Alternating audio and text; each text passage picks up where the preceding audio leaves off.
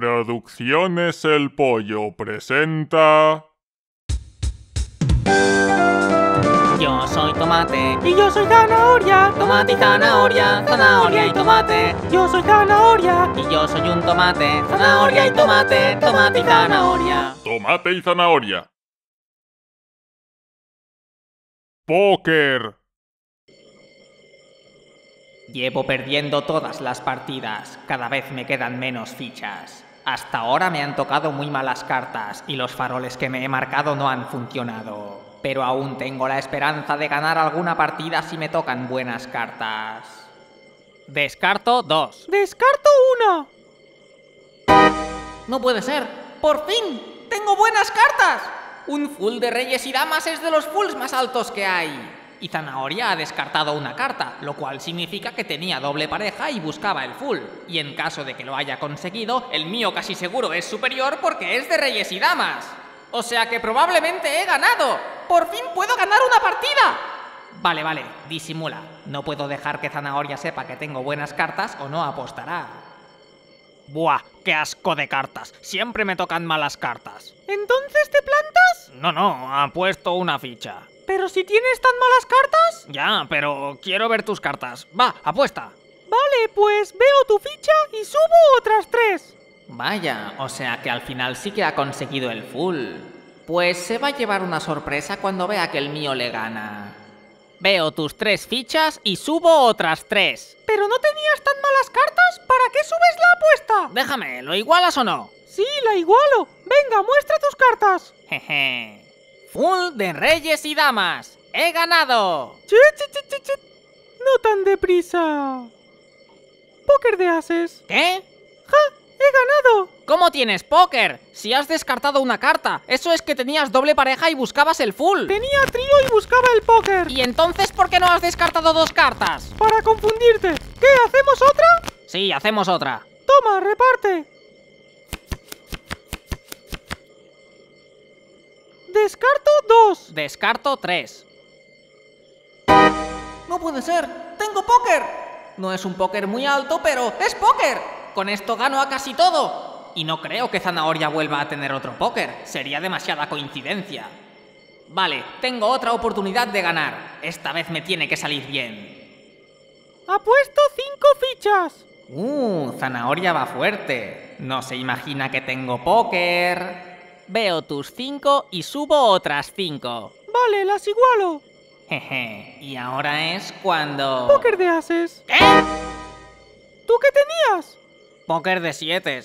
Ah, pues vuelvo a ganar yo. ¿Pero cómo te toca lo mismo dos veces seguidas? No sé, casualidad. Seguro que has hecho trampa. Pero si has repartido tú. Ah, cierto. ¿Qué? ¿Quieres otra? Sí, quiero otra.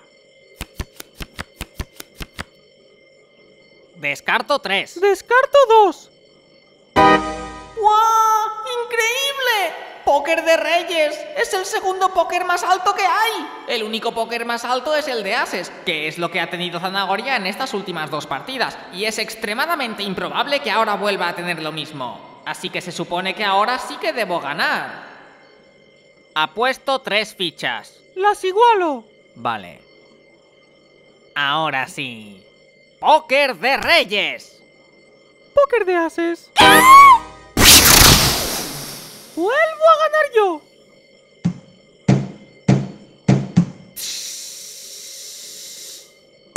No. Tampoco.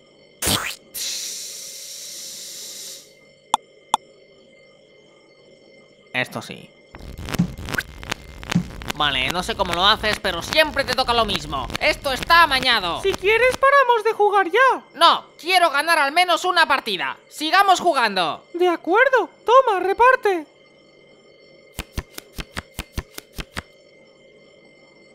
Descarto tres. Descarto 3. ¿Esto es? ¿Es posible? ¡Lo tengo! De ases, lo que ha tenido Zanahoria todo el tiempo. Ahora lo tengo yo. Vaya, ya no tengo póker de ases. Y Tomate tiene cara de póker. Bueno, pues apuesto tres fichas. Y yo apuesto todo esto. ¿Lo igualas? ¿Pero eso no es demasiado? ¿Lo igualas o no? Sí, lo igualo, pero... Bien, pues toma ya. Póker de ases. La misma jugada con la que tú me llevas ganando todo el rato. Escalera de color. ¿Qué? Yo que tú pararía de jugar ya. Te estás alterando. ¡No! Quiero ganar una, aunque sea solo una. ¡Reparte! Vale, como quieras.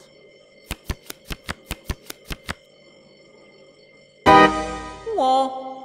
¡Wow! ¡Wow! ¡No me lo creo!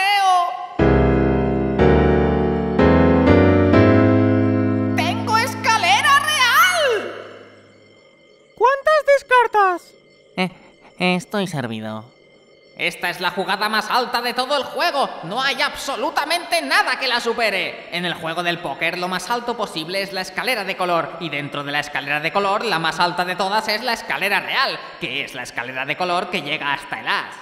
Ahora sí, tenga lo que tenga zanahoria, no podrá ganarme. Da igual que tenga full o póker de ases o cualquier otra escalera de color. La mía es la más alta de todas. Esta vez sí que voy a ganar. Por fin tengo garantizada la victoria.